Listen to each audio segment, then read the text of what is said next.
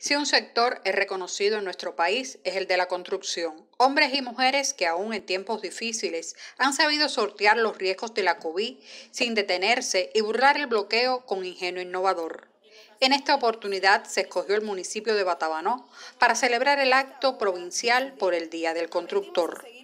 Nosotros escogimos esta obra porque realmente ha tenido resultados favorables a lo largo de su trayecto. Empezó en septiembre del año pasado, duró 14 meses de ejecución y cada vez que le ponemos una meta al colectivo lo cumplía. Es un colectivo que realmente trabajó horas extras, un colectivo que, trabajó por la cultura del detalle, que tiene, que tiene sentido de pertenencia, un colectivo que realmente se merecía eh, eh, ser la sede del acto provincial. En el marco de la actividad se otorgó la distinción Armando Mestre Martínez a trabajadores y trabajadoras con 20 y 25 años de labor ininterrumpida en el sector.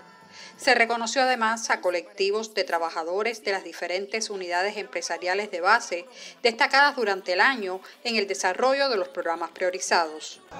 En el sentido de la construcción, que es nuestra razón de ser, aquí tiene un ejemplo de lo que ha hecho la mayor que está Una obra insigne, con calidad y con dedicación, hecha en un año por el grupo de, de Sobre los hombros de los constructores mayabequenses, descansa la edificación de cada obra revolucionaria, los hombres dignos de cascos blancos, como los llamara Fidel.